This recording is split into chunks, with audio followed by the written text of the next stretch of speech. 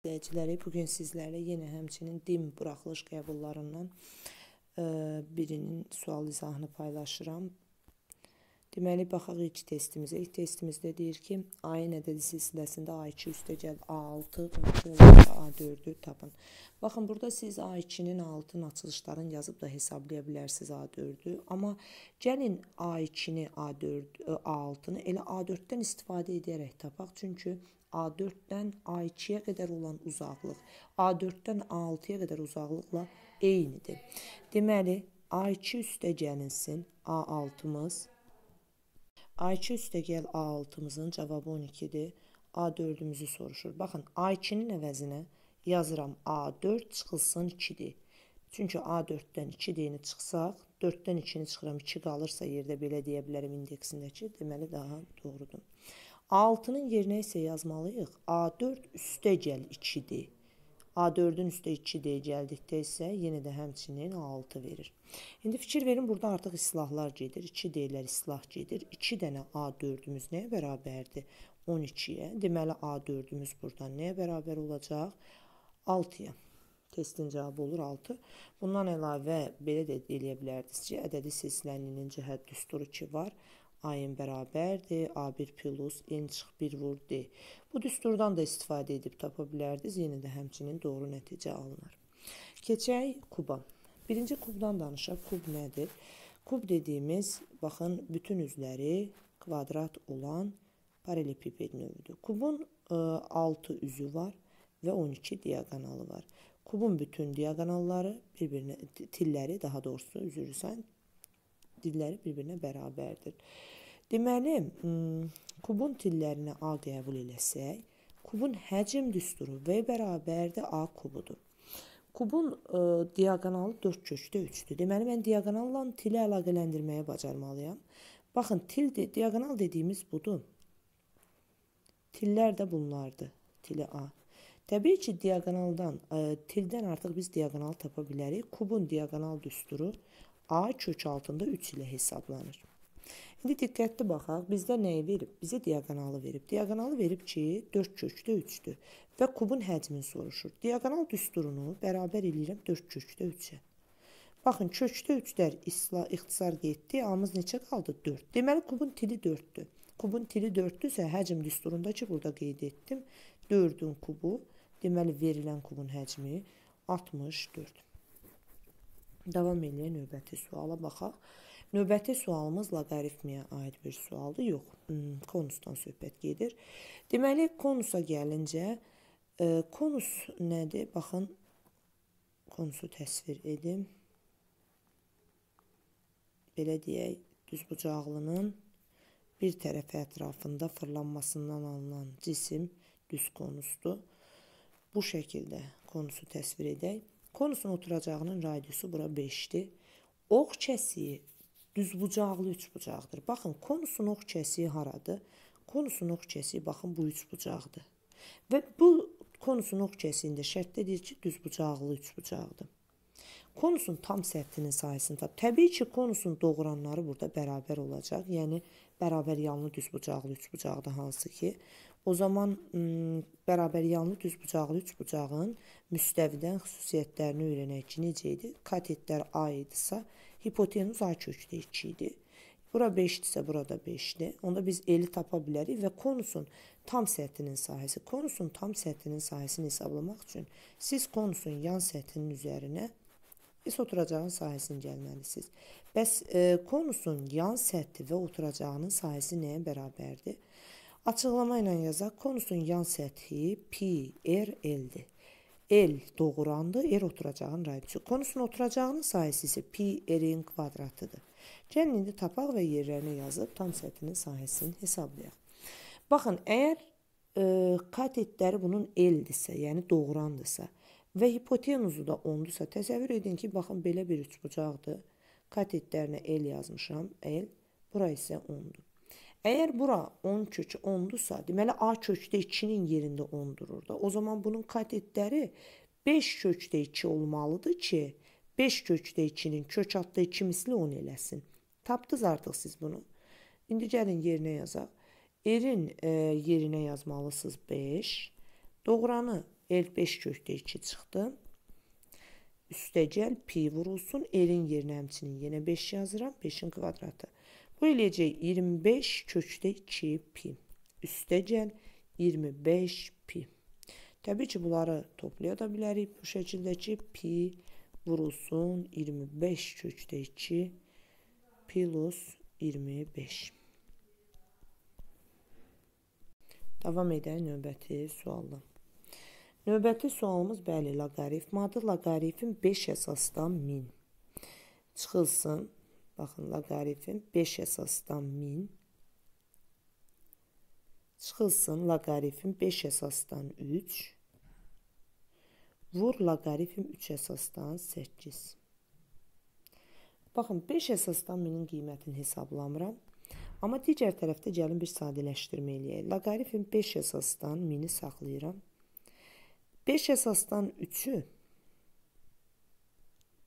olduğu kimi qalır. Burada 3 əsasdan 8 var. Baxın, 3 əsasdan 8 nə deməkdir? Loqaritm 3 əsasdan 2-nin kubu deməkdir. Və 3 önə keçir. Loqaritmada belə bir xüsusiyyət var bildiyiniz kimi. Loqaritma 3 əsasdan 2 olur. O zaman bunu belə yaza bilərik ki, biz, baxın, artıq 3 əsasdan 8-in yerinə 3 loqaritm 3 əsasdan 2 yazarıq. Və burada bir düstura diqqətinizi çəkmək istəyirəm. Baxın, loqaritmada 3-lər eynidir. Əgər bu 3-lər eynidirsə, o zaman bu 3-ləri e, bu şəkildə sadələşdirə bilərik. Loqaritm 5 əsasdan 1000 çıxılsın. 3 əmsal qalır. Bunu artıq ikisini birləşdirib hasilini tapıb 5 əsasdan 2 yaza bilərik. Bu da bərabərdir. Loqaritm 5 əsasdan 1000-in yerinə yazıram. 10-un kubu, 1000 10-un kubu deməkdir 3 önə keçirdirəm. 3 loqaritm 5 əsasdan 2.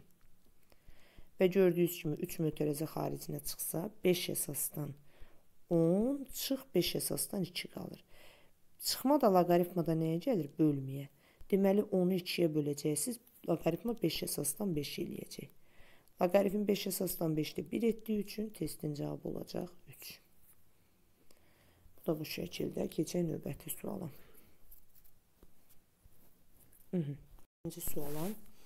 Beşinci sualımızda isə baxın, ə, deməli üslü funksiyalara aid bir sualdır, üslü tənliklərə. Deməli, üslü tənlikləri necə həll edəcəm? Baxın, yuxarıda fikir verin. Burada 15 üstü x-dan 3 dənədir. Yazacağam 3 vurulsun 15 üstü x. Aşağıda 3-lərin sayı isə 5 dənədir. 5 vurulsun 3 üstü x yazıram. Və bərabər eləyirəm 375-i. Həll etsəm əgər bunu 15-i 3-ə böləndə bu 5 üstü x verəcək bizə. Və 375-i vurmalıyam tərsinə. 5-də 3-ün tərsi, 5-də 3-ün tərsi, yəni 3-də 5-i. Bu da eləyəcək nə qədər? 500x bərabərdir. Bunu 3-ə böləndə nə qədər düşür? Deməli, bir dəfə, iki dəfə.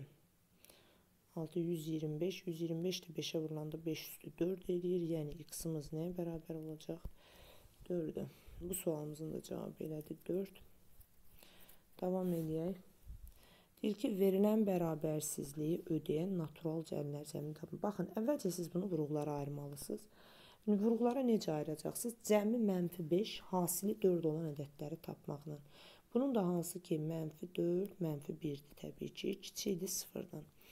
İntervallar üsulunu tətbiq eləyək. Mən müsbət 1-dir bunun 0, bunun 0 müsbət 4-dür. Aralıqlara bölək və indi işarə təyin eləmək üçün baş həddin işarəsinə baxırsınız. Əgər x kvadratın önündə müsbətdirsə, axırdan birinci işarə müsbət, mənfi müsbət deyə davam edir. Siz kiçik sıfır olan yeri axtarırsınız, yəni mənfi olan yeri. Bu da 1-4 arasıdır. Deyir ödəyən natural ədədlər. Təbii ki, burada qapalı olacağı üçün mötərizəmiz. Ödəyən natural ədəd deyirsə, artıq həm 1-in, həm 4-ün özü sayılacaq. 1-dən 4-ə qədər olan ədədlər natural həllərin də cəmi 1 üstə 2, üstə 3, üstə 4 cavab 10 olacaq. Bu da bu sualımızın izahı. Keçək növbəti suala. Növbəti sualda deyir ki, m parametrinin hansı qiymətində tənliyin həlli yoxdur? Siz bilməlisiniz ki, bir məchullu tənliyin həlli olmaması üçün a-nın 0, B-nin isə sıfırdan fərqli bir ədəd olması lazımdır. Baxın, bu tənliyi bir məchullu tənliyi kimi həll etsəm, mənfi 24. Baxın, 24 sıfırdan fərqlidir. Siz x-i tapanda həlli olmasını istəmirsinizsə, böldüyünüz ədədin sıfır olması lazımdır. Yəni, m sıfır olarsa bu tənliyin həlli olmaz. Davam edirik 8-ci suala. 8-ci sualda isə bir dəqiqə. Deməli 8-ci sualda isə 20 üstü n-i yazıram 2 üstü 2 n vur 5 üstü n. Nədən 2 üstü 2 n? Çünki 20 2 dənə 2 bir dənə 5 deməkdir. Və üzəri n-ci dərəcədən qüvvətə yüksələrsə n əlavə olunacaq hər qüvvətə. Məxrəcə baxaq. 2 üstü 2 n plus 1. Burada isə 5 üstü minus 1. Və siz bilməlisiniz ki, əsasları eyni olan qüvvətləri böləndə üstlər çıxılır. Yəni necə edəcəm mən? 2 üstü 2 ilə 2 plus 1 çıxacam. 2 üstü mənfi 1 cavabını alacam. Baxın 2 ilə 2 plus 1 çıxmaq lazımdır. Orada da 2 üstü mənfi 1 çıxır. 5 üstü n-dən n minus 1 çıxaq. n-dən çıxanda n minus 1-i təbii ki, bilirsiniz ki, 1 eləyir. Ona görə də burada da qalacaq bir 5. Yəni 5 üstü n-i 5 üstü n minus 1-ə böldüm və ən nəhayətində bu da eləyəcək 2-də 5. 2-də 5 də 2 tam 10-da 5 deməkdir.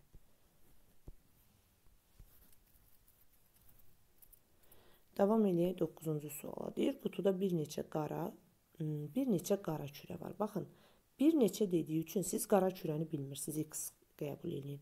3 sarı və 2 5 mavi kürə var. Çıxarılan bir kürəciyin mavi və ya qara olması. Təbii ki, çıxar bir kürə çıxarırsınızsa, Bu ya mavi olacaq, ya qara olacaq. Eyni anda həm mavi, həm qara olmağı e, mümkünsüzdür. Bunlar uyuşmayan hadisələr əmələ gətirir və ehtimalı hesablayarkən siz düsturu bilməlisiniz ki, iki hadisənin ehtimalını hesablayanda əlverişli hallar sayını mümkün hallar sayına bölmək lazımdır. Bəs nədir bu əlverişli hal, mümkün hal? Baxın, bizim x dənə qara kürəmiz var, 3 dənə sarı kürəmiz var, 5 dənə mavi kürəmiz var. Bunlar mümkün hallardır. Çıxarılan bir kürəciyin əvvəla gəlin mavi olması ehtimalını hesablayıram. Mavi olması ehtimalı mavi nə qədərdir içində? 5 dənədir. Yəni mavi çıxma ehtimalı indi biz bilmirik axı qara kürə nə qədərdir. Ona görə onu x-la qəbul etdik. Mavi çıxma ehtimalı budur. İndi qara çıxma ehtimalını hesablayaq. Təbii ki, bunlar fərqli olacaq surətdə. Çünki qara kürəmizdən sayını biz bilmirik, x-dır. Bu da bərabərdir 8 plus x-da x. Bu da qara çıxma ehtimalı və yadda saxlayın və ya ilə bağlandığı üçün.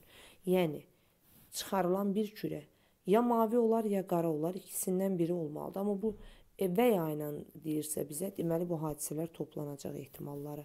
Yəni 8 üstəgəl x-da 5-in x bölünsün 8 üstəgəli x-i toplayıram və bunun ehtimalı 0,75-dir. 0,75 isə 4-də 3 olduğundan birbaşa 4-də 3 yazıram. Həll etsək 8 plus x 5 plus x bərabərdir 4-də 3.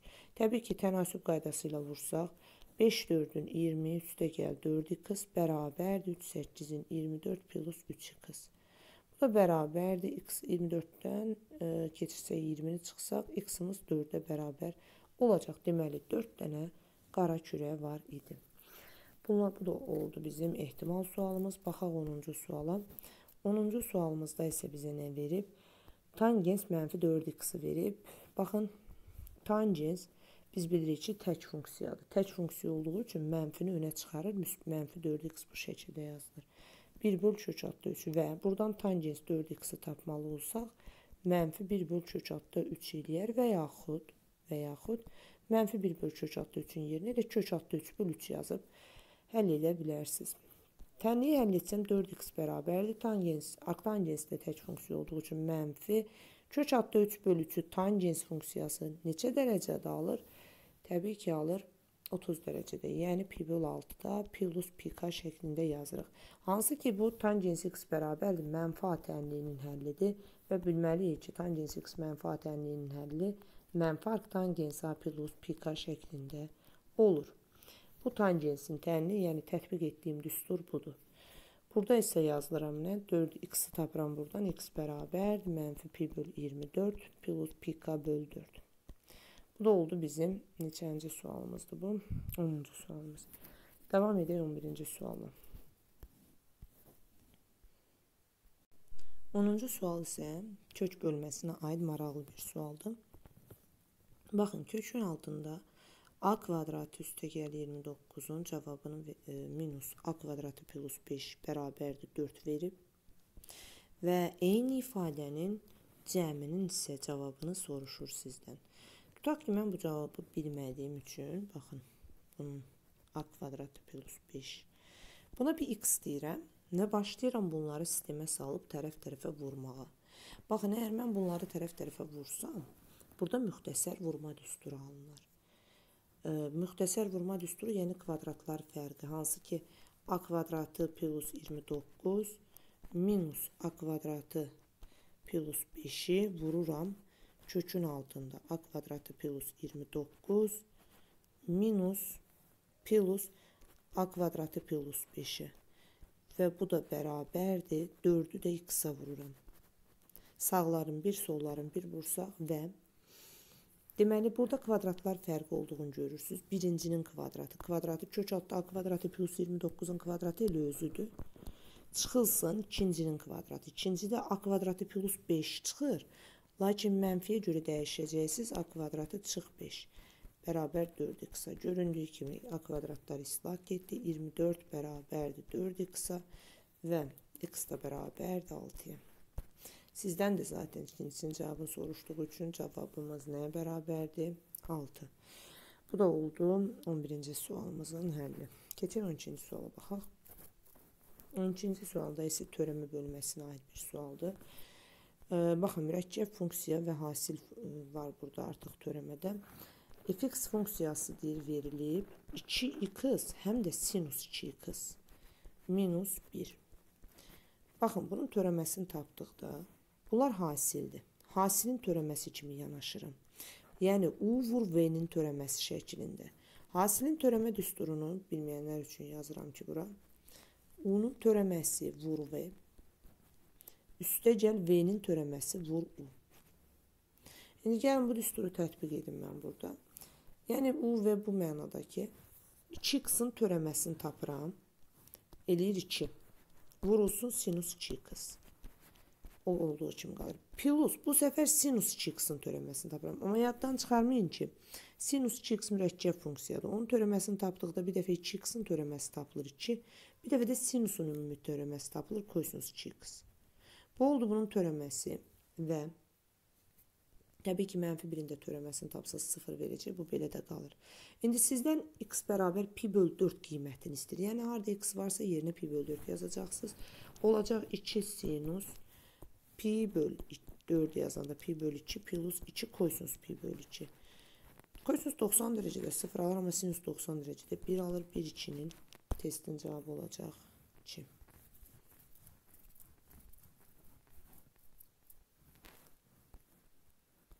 Keçək 13-cü suala baxaq.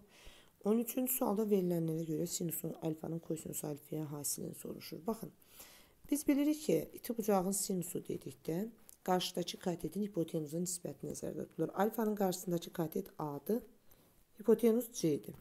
Yəni sinus alfa A-nın C-yə nisbətidir. Kosinus alfaya gəldikdə isə kosinus alfa bitişik katedin bitişik katet hansıdır? B hipotenuza nisbətidir və bu da eləyəcək A vur B bölünsün C kvadratı. Bu da bu ifadənin həlli keçək növbəti suala baxaq. Növbəti sualda isə deyir müstəvini kəsməyən AB parçasının M nöqtəsi. Baxın bu bir müstəvidir. Alfa müstəvisi və onu kəsməyən AB parçası verilib. Baxın, bir dənə AB parçası verilib, həmin müstəvini kəsmir. Parçası və M ortaq nöqtəsindən müstəvinə uyğun olaraq bu paralel baxın. M orta nöqtəsindən, bir dənə də bu nöqtədən müstəviyə paralel düz xəttlər keçirilmişdir bu şəkildə. Müstəvi çəkilmişdir. A, A1, M M1 B B1 Bunun da müstəvi üzərində proyeksiyasını yaradaq. Baxın, indi sizdən soruşur ki, əgər A1 7-dirsə, M1 də 5-dirsə, B B1-i tapın, X-i tapın. Təbii ki, bu düzbucaqlı trapesiya şəklidir və tanci trapesiyanın biz orta xəttini tapırıq. Burada cümlədə bir balaca səhv var. Burada ortaq yox. M orta nöqtəsi demək istəyir. Bu orta nöqtədir. Orta xətt kimi tapsaq əgər biz bunu 7 üstə gəlinsin x bölünsün 2 bərabərdir 5 olacaq.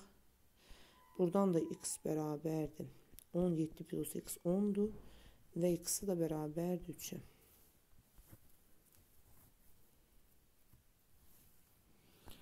Növbəti 15-ci suala gələk. 15-ci sualda verib absis oxunu deyir x bərabər. Baxın, bir dənə funksiya verib kvadratik və verilən funksiya deyir ki, absis oxunu plus 2 funksiyası x bərabərdir mənfi 3 nöqtəsində kəsir. Absis oxunu mənfi 3 nöqtəsində kəsdikdə yadda saxlayın ki, o nöqtədə y sıfırdır. Ordinat oxunu 9-da kəsirsə, o nöqtədə x sıfırdır. İndi gəlin bu nöqtələri sadəcə düsturda yerinə yazaq. X-a mənfi 3 yazsam, baxın sistemi açıram. X-a mənfi 3 yazsam 9, 9 2 18. X-a mənfi 3 yazsam mənfi 9P. Plus Q bərabərdir 0-a. İndi x-lara 0 yazıram. Bura 0 oldu, burada 0 qaldı Q. Q 9-dur. Q-yə 9 versəm, 18 minus 9P plus 9 bərabərdir 0. 27 bərabərdir 9P-yə, P də bərabərdir 3-ə. Deməli, P-miz 3-dür, Q-miz 9-dur. Bizdən nəyi soruşur? P minus Q. 3 minus 9. Bu da edəcək cavab mənfi 6. Bu da oldu bizim 15-ci sualımız. Sualda bir trapesiya məsələsidir. Trapesiyanın birinci onu bilməlisiniz ki, baxın bu A ilə işarə etdiyim kiçik oturacağı, B ilə işarə etdiyim böyük oturacağıdır. Deyir, trapesiyanın oturacaqlarından biri hündürlükdən 3 sm kiçik, Digər oturacaq isə hündürlükdən 9 sm böyükdür. Yəni onu demək istəyir ki, tutaq ki, hündürlüyü h yazıram. Təbii ki, trapesiyanın hündürlükləri bərabərdir.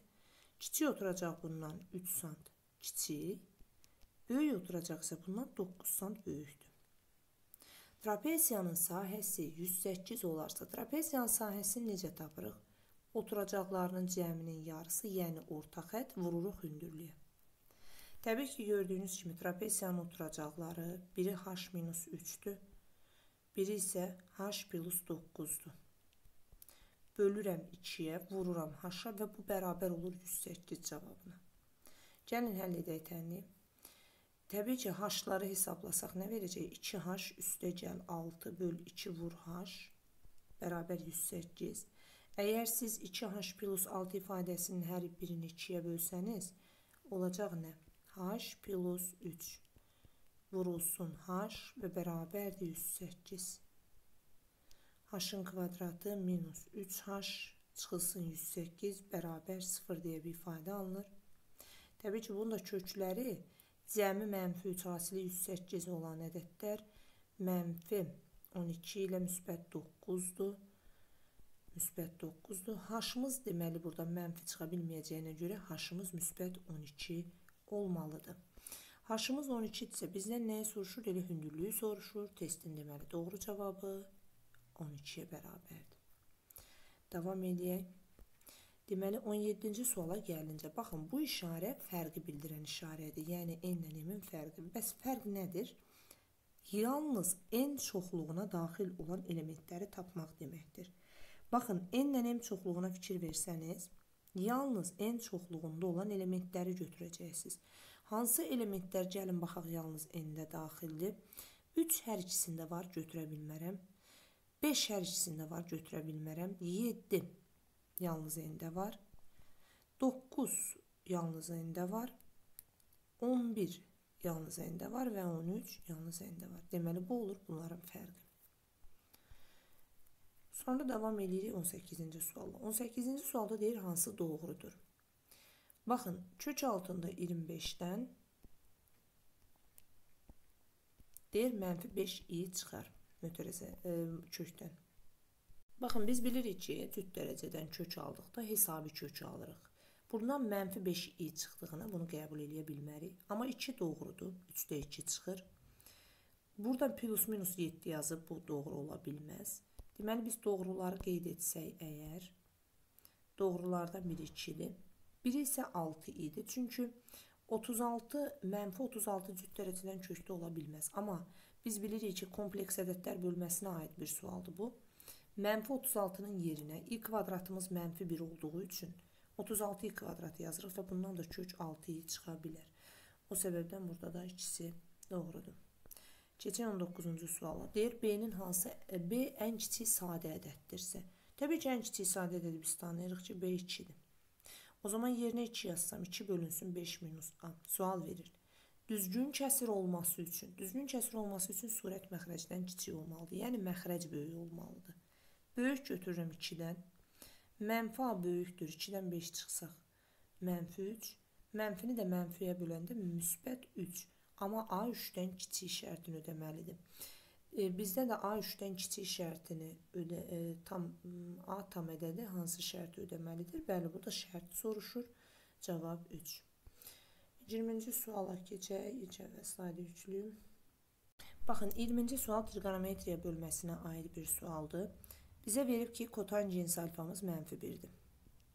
Və bizdən tələb ki, kosinus kubo alfa minus sinus kubu alfa bölünsün sinus kubu alfa ve minus 2 sinus kvadratı alfa vur kosinus alfa. Baxın, bunu da necə sadələşdirə bilərik biz? Hər tərəfini kotangens biz bilirik ki, kosinusun sinusa nisbətidir. Hər tərəfini sinus kuba alfaya bölməklə.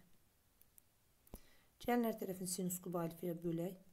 Birinci, kosinus kub alfanı sinus kub alfaya bölsəniz, kotangens kub alfa. Sinus kub alfanı sinus kub alfaya bölsəniz 1. Burada da həmçinin məxrəcdə də 1 eləyəcək. İndi baxın, 2 sinus kvadratı alfa kosinus kvadratı alfanı əgər siz bölsəniz sinus kub alfaya, kubun biri ixtisar gedəcək, qalacaq sinus alfadan biri. Kosinus alfa böl sinus alfa isə sizə yenə də kotangens alfanı verəcək. Deməli, bunları silək. O zaman minus 2 kotangens alfa. Artıq siz kotangens alfanın da qiymətini bilirsiniz. Mənfi 1-dir. Harada kotangens varsa yerinə mənfi 1 yazaq. Mənfi 1-in kubu mənfi 1 çıx 1. 1 minus 2 vur mənfi 1. Məxrəc eləyəcək 3, surət eləyəcək mənfi 2. Deməli, qaydamız, cavabımız mənfi 3-də 2. Davam eləyək növbəti 21-ci suala. 21-ci sualda deyir, qabarıq çoxbucağının daxili bucaqlarının cəmi. Təbii ki, qabarıq çoxbucağının daxili bucaqlarının cəm düsturunu bilmək istəyirsinizsə, 180 vurulsun n çıx 2-dir. Və bu cəm 900-ə bərabərdirsə, görək tərəfi nə qədərdir? N çıx 2 bərabərdir, 900-ü 180-da bölürəm 5 dəfə, deməli 7 tərəfi var. Davam eləyək. İki oxşar çoxbucaqlının perimetrləri 70 və 80-dır. Siz bilməlisiniz ki, oxşar çoxbucaqlıların perimetrləri nisbəti elə onların tərəf nisbətinə bərabərdir. Yəni, perimetrlərin nisbəti 70 böl 80-dirsə, birinci çoxbucaqlının tərəfi 14-dürsə, ikinci çoxbucaqlının tərəfi yoxdursa, bunu biz tənasüb vasitəsindən həll edərik. Əvvəl bu sıfırları ixtisar aparaq buradan. Yəni, ona bölək. Onda nə olacaq? 7 A2-miz bərabərdir 8 vur 14. 14 ilə 7-ni ixtisar aparsam, burada 2 durur. 8 2-nin, deməli ikincinin tərəfi 16. Növbəti sual 23-cü sual. Deyir ki, cədvəldə ingilis dil kursunun ümumi biliklər və ELTIS qruplarında iştirak edən qız və oğlanlarının sayı göstərilmişdir. İELTS qrupundakı qızların sayı ümumi biliklər qrupundakı oğlanların sayının tam hissəsini təşkil edir. Baxın. E, deməli, qrupdakı e, qız və oğlanların sayı göstərilmişdir deyir. Cədvəlimizdə var. Deməli, ümumi biliklərdə e, iştirak edənlər 3y ilə 3y-dir. O qızların sayı 6x-dır və cəmsi 90-dır. O zaman yazacaqsınız ki 3y üstə gəlinsin 6x bərabərdir 90. Digərdə isə ingilisdir qrupunda isə y-dən x-dır. y üstə gəl x bərabərdir 20. Və bu sistemi əvvəlcə həll edək. Deyir ki, e, ümumi biliklər qrupundakı oğlanların sayının hansı hissəsini təşkil edir? Əvvəlcə sistemi həll edək. Aşağını vururam mənfi 3-ə. 3y üstə gəlinsin 6x bərabərdir 90. Mənfi 3-ə vursam mənfi 3y minus 3x bərabərdir mənfi 60. Tərəf tərəfə toplarsam əgər bunlar islah gedir. 3x bərabərdir 30, x-imiz çıxacaq 10.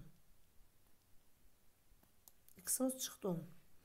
Daha sonra bizə deyir ki, x 10-dursa, o zaman x, y də 10-dur. Bura 10 yazsam, burada 10-dur. X-i də tapdıq, 10, y-i də tapdıq 10.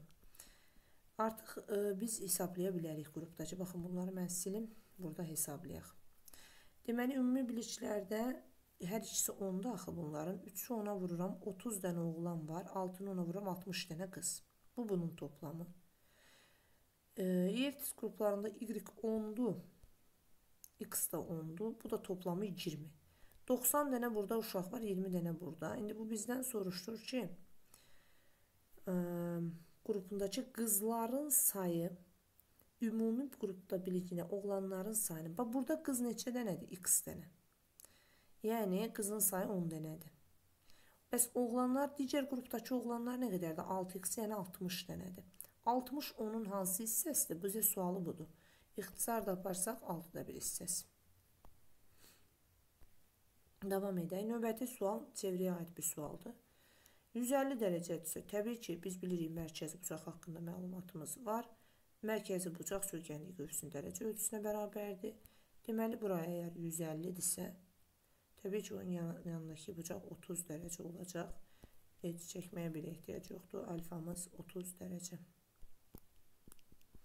Kampaniya əsasən deyir, bir mala alana ikinci malı alarkən 80% endirim olunur. Malın qiyməti 600 manat olarsa, iki maldan alan müştəri nə qədər? Baxın, malın qiyməti 600-dür.